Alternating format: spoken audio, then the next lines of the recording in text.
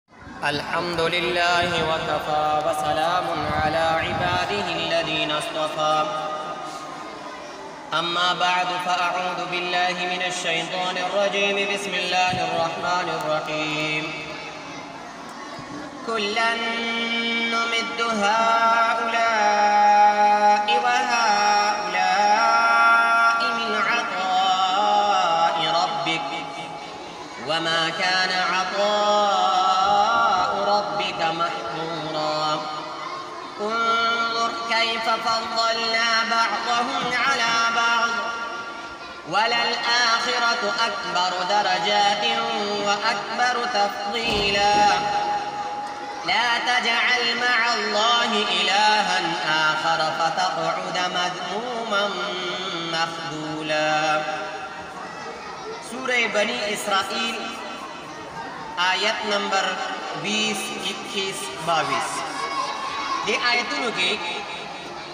الله جل جلاله عم نواله فرمایي چې مونږه د دنیا غوښتونکو ته بعضو ته پکې مونږه دنیا ورکو هغه خلک چې دنیا غواړي آخرت سره هیڅ سروکار نشته د دنیا سره ډیره مینه ده ټول خواري ټول محنتونه د دنیا د پاره دي د آخرت د پاره او د آخرت سره هیڅ قسم د هغه تعلق نشته نو الله فرمایي چې موږ دیلم ورکو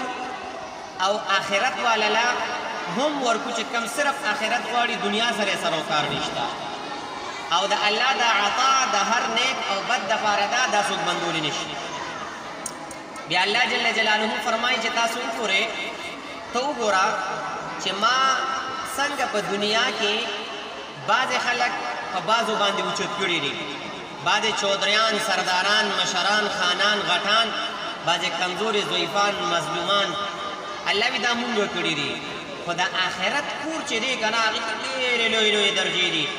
او هغه د درجو په اعتبار سره او د فضیلت په اعتبار سره د دنیا نه په کرباو چنده غټه ده. ډیر اوچت مقام دی د اخرت او درجی یی او فضیلتونه یی ډیر زیات دی د دنیا نه او بیا الله جل جلاله فرمایی چی ته د الله سره ګوری بل خدای مه جوړوه د الله سره څوک شریک مه جوړوه کنی نو ګوری ډیر بی مددګاره او بی کسه به یی او په دنیا کی به دک شان پاتی شی او په اخرت کی به درله الله تعالی بدترین عذاب درکیه.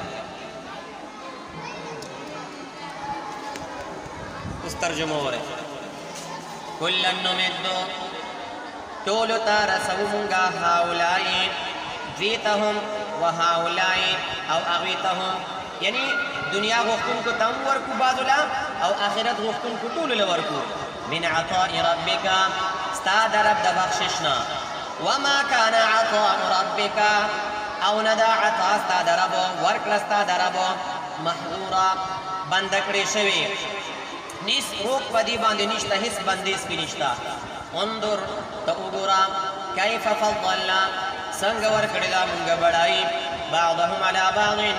بعضو لره په بعضو باندې، وللآخرة، او د آخرت په کور کې اکبر درجات ډېرې لويې درجې دي و اکبر تفضيلا او ډېر اوچت فضيلت دی لا تجعل مع الله مه جوړوه څوک د الله تعالی سره الها آخر بل خدای فتقعد کني کېږنې مذموما داسې چې ځان به ملامته کې بیا مخذولا بې مددګاره